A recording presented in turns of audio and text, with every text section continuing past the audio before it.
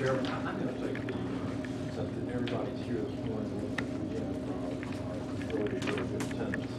The shi- shift uh, uh, to the, this is information, but this is a lot of good information that those of you who couldn't come to the legislative update, but I want to people don't know about health department, so I'm going to switch to the next item, you know, reverse a little bit. The Public Health 2013 sort of where we are, and basically, you know, we, we, I don't want to bore you that the first is, but most of them have not heard it.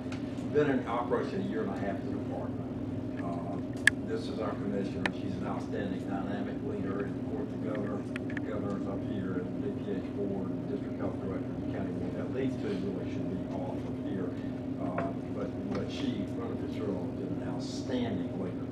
Uh, Department of Public Health, South Health District, uh, the district we're in increased from 227,000, 2,000 to 256,000, 2011. Lowndes population increased from 92,000 in 2000 to 111,000 in 2011. Now that, that's an impressive figure.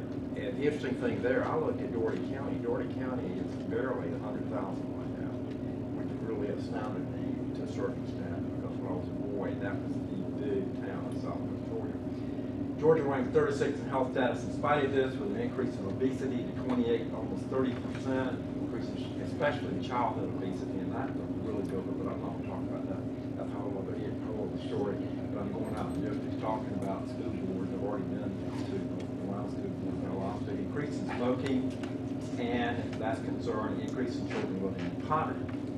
Uh, Our mission, of course, is to help to protect Georgia from preventing disease, promoting health, preparing for disasters. And uh, what do we do? All right, children's health, children's medical services, asthma, neurological disorders. What are we talking about? We're talking about autism, we're talking hyposcoliosis, talking about sickle cell disease, we're talking about these things, we actually actively follow kids. We have, we have in our district, in, in some of these programs, seven to nine hundred kids that come in almost quarterly uh, in children's medical services that are primarily followed by us for chronic problems. The children, the, the babies can't wait is primarily for speech delay and autism and, and Down syndrome, and of course, children's medical services is, is scoliosis, sickle cell, uh, the kind of asthma, the kinds of things that require medical treatment. We, we of course, as you are well aware, involved in child immunizations, encouraging those, checking for lead poisoning. We do, uh, we encourage and, uh, and educate on nutrition, physical activity, and going out to school boards right now talking about childhood obesity. That's a priority of the governor right now, and we're making it on local levels. We do oral health, we go out and teach. Uh, we have a nurse who goes in schools, gives out toothbrushes, teaches dental care. Women, infant, and children. We have a program here that is a several million dollar nutritional program for women and babies that been born. And, and it is its own separate department up on the third floor of this building, and that's the Lee County Department. Of course, we do it out at all the health departments. And of course, school health. They work under our protocol in all the schools in our district, meaning that they work under my, pretty much my license authority, under our protocol that's been, Deborah Adams has dotted her i's and crossed her t's on. We actually, two of the nurses in the Bell Office system actually work for you, for you and, and us. Women's health, family planning, family planning, trying to let women plan the pregnancy, in my opinion, is also trying to prevent babies from having babies and children from having children. Uh, once they, they get pregnant, of course, we try to make sure that the mother and the baby will be healthy. Uh, it's not the baby's fault uh, that they're born to, to a young mother who may not really have the skills to take care of that child. And, and yet we do immediately turn around and reinforce planning of these pregnancies. And this is a big issue in the health department, like when you realize. Chronic and communicable disease. We treat STDs every day over on, on, on Lee Street. Uh, HIV, we have 110 clients with HIV in our area that we follow. Adult immunizations, you know about here in this health department, uh, we give every day, we have up to 30, including travel immunizations you can't get anywhere else. Uh, tuberculosis, let me just tell you a story about tuberculosis. We had a patient last year refused. We actually, when we diagnose TB in a patient, we, we take the medicine to them. We go to their houses, we give them the medicine, we watch them swallow the medicine. That's an unbelievable thing that we do to try to keep the public healthy, keep the patient at home. Well, this patient was refusing to let the nurses in his house to even see him. Then, of course, he would go out in the community to church out and about, coughing, spreading germs all over the place. So, eventually got sick enough that Willie Rayner admitted him ID here in the lounge and called me and said, Dr. Grove, we have a public health problem. I said, Willie, I, I know this patient. Yes, we do. Having said that, two Superior Court judges, two lawyers, two hearings, uh, Sheriff of Lowndes County Jail, CEO of South Georgia Medical Center, unbelievable man hours of town. This patient was admitted to the Columbia, South Carolina TB Prison Hospital court order where he's been for six months. He's now in remission. He's been sent home and he gained 40 pounds. And uh, all he had to do was take his medicine. But nevertheless, it, it, it's an expensive process too when you get these people involved. And nevertheless, epidemiology, this is what part of what we do that people never hear about. We can't put it on the front page of the paper. Epidemiology, let me tell you about. When I, I had a patient who had pneumococcal meningitis around Christmas um, and came in, and sent me from an OBGYN doctor's office. She had a little red spots all over had a real bad sore throat. I thought I knew what was wrong. Sent her to emergency room. Emergency room, she collapsed in septic shock. Uh, started her t- fingers and toes started dying, what we call digital necrosis. Before that night was over, two o'clock in the morning, I was intubating her, and right as I was putting in the tube, she coughed, which is a normal reflex. You put something in, in the trachea, and all of her germs flew up in my face, occupational hazard. Having said that, um, the next morning, she'd been a party two nights before, a Christmas party with 100 people.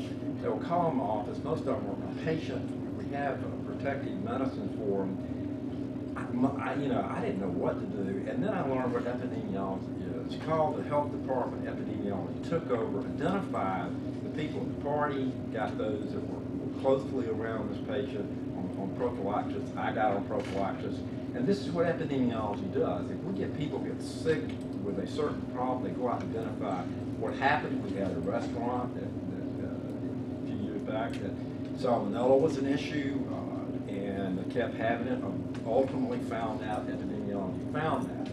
You don't see and hear about all this kinds of things that we're doing. And as far as children immunizations, we've done 7,000 immunizations in 77 schools in this district in the last four months. Don't think there are a lot of people not out there working. There are, and there's one of the main ones right there. Okay? She, she's a jewel. Environmental health. This is one of the most depressing things. Restaurant is business. You see the grades in restaurants? That's us. You, we had a brand new restaurant open at the mall two years ago, big editorial in the paper about how the public, how the health department was anti-business. All we did, which was, in- was enforced of the state regulation. They, they flunked their first two EU uh, inspection, and they had some real issues, and we were going out and educating them, trying to tell them what they were doing wrong. Finally got the district manager down, got it straightened out.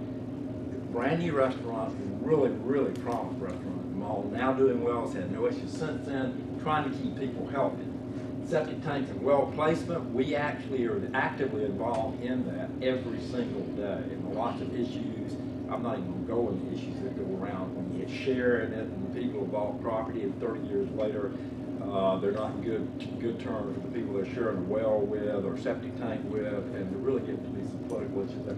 Public swimming pools, we're responsible for the health of public swimming pool water, including Wild Adventures. We go out and try to make sure the chemical balance is right, water is, is good, public swimming pools, and, and, and to keep children and people healthy. Tourist accommodations, we checked for, for, for a problem in tourist accommodations. We had to close eight beds in a Lowndes County motel last year for bed bugs. I got a letter from Kentucky, a picture of a guy's legs with a whole bunch of whelps. He'd been to a dermatologist, he sent me the receipt from the motel, so I knew exactly which one it was. Uh, we went down there, our environmentalist did confirm that there was a bed bug problem. We shut eight rooms, fumigated, problem taken care of. Did it get advertised? Did it get credit for it in the community? We don't know we're doing this? Absolutely not. We can't go out and do it. All this is going on behind the scenes. Tour, uh, bodyguard, we're responsible for the tattoo parlors, to making sure that they're not spreading disease. They're puncturing, they're drawing blood? We we are trying to be sure that they're not passing from one client to another client with this diseases that are, you don't want. Okay? I won't go into more Is details. that what you Rabies envisioned, is Where that was what the, you uh, envisioned in medical school now, when, when you were going to medical school, you said, one day I'm gonna be over tattoo parlor. Yeah, interesting thing I've learned is uh, rabies control, Dorian Lowndes County. Let me tell you about a donkey. Got imported from Decatur County, uh, and, uh, to a a prominent Wells County, and he put him in with his Irish and imported from Ireland horses. Woke up the next day and the horses were bloody, and the donkey was bloody. So he moved in one of these goats, twenty-two goats, mothers and babies. Next morning, there were seven, or eight dead goats. Decided he'd give his donkey back uh, to the Decatur County, and, and in the process of loading him up, the guy that was helping him got bit. Well, they took him back to Decatur County, the guy was there, uh, got rid of the donkey and buried him. Well, the guy here went to the emergency room, and course, what was he asking? Uh, is, did the animal be checked for rabies? The answer was no. We go over to Decatur County, get them to dig up the animal, cut off the head, take it to the lab in Albany, positive for rabies, okay, donkey with rabies. All right, and most horses are not uh, vaccinated for, for rabies. I have horses, they were not, they are now. But, but having said this, we give you stories of three weeks ago in Brooks County, three weeks ago. Three guys standing around a truck, a fox wanders out and jumps on the hood of the truck. Now, would you, what would you do if that happened? Would you run away? Would you say, I'd go get your shotgun? No, they didn't. They just sort of stood there. Well, that, he ends up attacking, jump, biting two of them. Gets into, the gets his head cut off, got killed. Uh, he did have rabies. They got, started on rabies treatment. You don't hear, you know, this goes on a lot more. I'm just sharing a few of these stories with you. This is something I had no clue about the health department. This is something I had no clue. I knew a little bit about this, a little bit about this, but the extent of this, you don't know what we do here to keep communities healthy, that we don't get any credit for. Now, having said